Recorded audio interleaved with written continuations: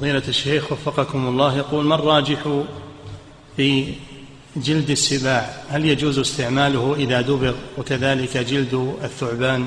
يدخل في الخلاف الذي ذكرته لكم. كل الجلود تدخل في الخلاف الذي ذكرته لكم. نعم. فضيلة الشيخ وفقكم الله. جلود السباع بالذات جاء النهي عنها. جلود السباع بالذات لا يركب عليها ولا يجلس عليها ولا تستعمل. نعم. المكتبة الصوتية لمعالي الشيخ صالح بن فوزان الفوزان حفظه الله.